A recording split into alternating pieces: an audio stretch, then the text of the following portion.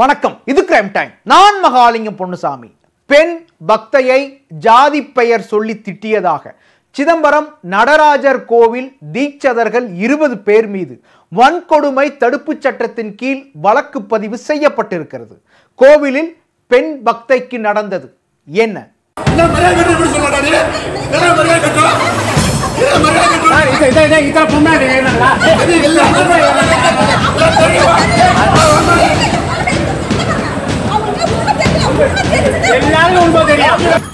ஏற்கனவே தீட்சிதர்கள் மூவர் மீது கொலை முயற்சி வழக்கு பதிவு செய்யப்பட்டக்கூடிய நிலையில் தற்போது இருபது பேர் மீது வன்கொடுமை தடுப்பு சட்டத்தின் கீழ் வழக்கு பதிவு செய்யப்பட்டுள்ளது. சிதம்பரம் நடராஜர் கோவிலில் நடப்பது என்ன?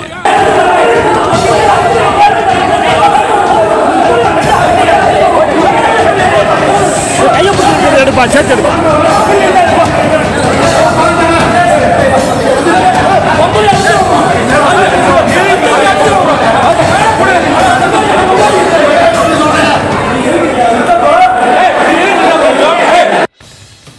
சிதம்பரம் நடராஜர் கோவிலில் சுவாமி தரிசனம் செய்ய வரக்கூடிய பக்தர்களை கனக சபை என்று அழைக்கப்படக்கூடிய சிற்றம்பல மேடையில் ஏறி வழிபட அனுமதிப்பது வழக்கம். கொரோனா தொற்று பரவல் தடுப்பு நடவடிக்கையாக கடந்த இரண்டு ஆண்டுகளாக இந்த நடைமுறைக்கு தடை விதிக்கப்பட்டது. தற்போது ஊரடங்கு தளர்வு அறிவிக்கப்பட்டிருப்பதால் சிற்றம்பல மேடையில் ஏறி பக்தர்களை தரிசனம் செய்ய அனுமதிக்க வேண்டும் என்ற கோரிக்கை எழுந்தது. கடந்த பத்தாம் தேதி கோவிலில் நடைபெற்ற பொது தீட்சிதர்கள் கூட்டத்தில் இதற்கு எதிராக தீர்மானம் நிறைவேற்றப்பட்டது. அப்போது ஐம்பத்தி ஏழு வயதான சக்தி கணேஷ் தீட்சிதர் பக்தர்களை பழையபடியே சிற்றம்பல மேடையில் ஏறி வழிபட அனுமதிக்க வேண்டும் என்று வலியுறுத்தி தீர்மானத்திற்கு எதிர்ப்பு தெரிவித்தார். இதற்கு மற்ற தீட்சிதர்கள் கடும் எதிர்ப்பு தெரிவித்த நிலையில் கணேஷ் தீட்சிதரை தற்காலிகமாக பணியிடை நீக்கம் செய்தனர். இந்நிலையில் கணேஷ் தீட்சிதர் கடந்த சனிக்கிழமை இரவு எதிர்ப்பை மீறி சிற்றம்பல மேடையில் ஏறி வழிபாடு செய்ய முற்பட்டார். அப்போது சக தீட்சிதர்கள் அவரை தாக்கி தள்ளிவிட்டனர். இதனால் அவமானமடைந்த கணேஷ் தீட்சிதர் சிதம்பரம் நகர காவல் நிலையத்தில் புகார் அளித்தார். புகாரை பதிவு செய்த போலீசார் ராஜா செல்வம் தீட்சிதர் சிவசெல்வம் தீட்சிதர் சபேஸ் தீட்சிதர் ஆகியோர் மூவர் மீது கொலை முயற்சி வழக்கு பதிவு செய்தனர். இதனிடையே மறுநாள் கணேஷ் தீட்சிதர் மகனான தர்ஷன் தீட்சிதர் பட்டியலினத்து பெண் பக்தர் ஒருவரை சாமி கும்பிட கனக சபைக்கு அழைத்து சென்றுள்ளார். அப்போது அங்கிருந்த தீட்சிதர்கள் அந்த பெண்ணை தடுத்து நிறுத்தி சாதி பெயரை சொல்லி திட்டி தள்ளிவிட்டதாக கூறப்படுகிறது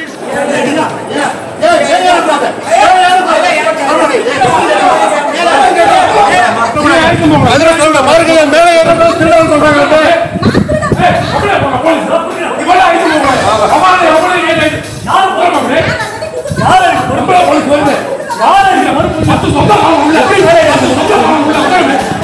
இதனால் அவமானமடைந்த பெண் சிதம்பரம் நகர காவல் நிலையத்தில் புகார் அளித்தார். புகாரின் பேரில் நடராஜர் கோவில் தீட்சிதர்கள் இருபது பேர் மீது கூட்டாக சேர்ந்து தடுத்தல் தாக்குதல் மற்றும் வன்கொடுமை தடுப்பு சட்டம் உள்ளிட்ட பிரிவுகளின் கீழ் வழக்கு பதிவு செய்யப்பட்டுள்ளது. இதனிடையே சிதம்பரம் நடராஜர் கோவில் நிர்வாகத்தை சீர்குலைக்க சிலர் முயற்சி செய்து வருவதாக கோவில் பொது தீட்சிதர்கள் சார்பில் ஐயப்ப தீட்சிதர் குற்றம் சாட்டியுள்ளார். செய்தியாளர் சந்தித்தவர் கோவில் விதிமுறைகளுக்கு முரணாக கணேஷ் தீட்சிதரும் அவருடைய மகன் தர்ஷன் தீட்சிதரும் செயல்படுவதாக குறிப்பிட்டார். கோயிலுக்கு களங்கம் ஏற்படுத்தும் வகையில் குந்தகம் ஏற்படுத்தும் வகையில் இரண்டு தீட்சிதர்கள் பண்ணி கொண்டிருக்கிறார்கள். ஒன்று டி. சக்தி கணேச தீட்சிதர் இன்னொன்று தர்ஷன் தீட்சிதர். இவர்கள் வந்து கோயில் சட்டத்திட்டத்தை மீறி அதை வரம்பு கட்டுப்படாமல் வரம்புக்கு மீறி அவர்கள் வந்து சில துஷ்பிரயோகமான விஷயங்களை தீய சக்திகளுடன் சேர்ந்து கொண்டு நம்ம கோயிலுக்கு அப அபகீர்த்தி உண்டு பண்ணும் வகையில் கெட்ட பேர் உண்டு பண்ணும் வகையில் தீட்சித சமூகத்துக்கும் கோயிலுக்கும் உண்டு பண்ணிட்டு இருக்கார். விடுதலை சிறுத்தைகள் கட்சியின் தலைவர் தொல் திருமாவளவனை கனகசபை மீது ஏற்றி பொது தீட்சிதர்கள் கௌரவப்படுத்தியுள்ளனர் என்று குறிப்பிட்ட ஐயப்ப தீட்சிதர். நாங்கள் சாதி ரீதியாக எப்போதும் செயல்பட்டதில்லை என்று கூறியுள்ளார்.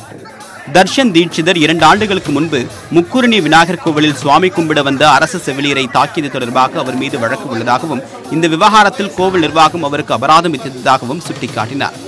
அதை மனதில் வைத்துக்கொண்டு கோவிலுக்கு அவதூறு ஏற்படுத்த வேண்டும் அரசை தலையிட செய்ய வேண்டும் என்ற நோக்கத்தில் தர்ஷன் தீட்சிதர் செயல்படுவதாகவும் குற்றம் சாட்டினார். அவர் சொல்லக்கூடிய அத்தனை விஷயமும் பொய். இங்க வந்து ஜாதி மத பேதம் எதுவுமே கிடையாது. எல்லா தரப்பினர் வராங்க. கிறிஸ்டின் வராங்க முஸ்லீம் வராங்க. மற்ற நம்ம தமிழ் இந்து மதத்தில் உள்ள எத்தனை பிரிவினர்களும் வந்து இங்கே தரிசனம் பண்ணுறாங்க யாரையும் நம்ம குறை சொல்லியோ அவங்கள தாழ்த்தியோ அவங்கள தவறாவோ இது வரைக்கும் பேசினதும் கிடையாது. இனிமேயும் பேச போகிறதும் கிடையாது. எல்லாரும் வரணுங்கிறது தான் நம்மளோட இது. இந்த பேதம் இல்லாத ஒரு க்ஷேத்திரம் தான் சிதம்பர க்ஷேத்திரம். இந்நிலையில் செவ்வாய்க்கிழமை கணேஷ் தீட்சிதர் மற்றும் தர்ஷன் தீட்சிதர் இருவரும் மீண்டும் கனகசபை மீது ஏற முயன்ற போது அவர்கள் தடுக்கப்பட்டனர். அப்போது அவர்களுக்கிடையே வாக்குவாதமும் ஏற்பட்டது.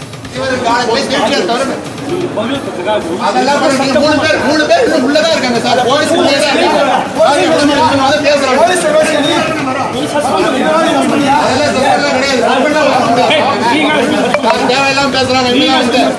கனகசபை என்று கூறப்படக்கூடிய சிற்றம்பல மேடையில் ஏறி அனைவரும் சாமி கும்பிட வேண்டும் என்பதே தன்னுடைய விருப்பம் என்று தர்ஷன் தீட்சிதர் கூறியுள்ளார். சோழர்கள் கட்டிய நடராஜர் கோவிலில் கனகசபை மீது யாரும் ஏறக்கூடாது என்று தீட்சிதர்கள் எப்படி உத்தரவு பிறப்பிக்க முடியும் என்றும் அவர் கேள்வி எழுப்பியுள்ளார். தாழ்த்தப்பட்ட சமுதாயத்து பெண் ஜெயஷீலாங்கிற லட்சுமியை வந்து மேலே ஏறும்போது அங்க இருந்தவங்க பல பேர் ஜாதி பேரை பறச்சின்னு சொல்லி திட்டி அவங்கள அஹ், கையை பிடிச்சி வெளில எடுத்து விட்டுருக்காங்க.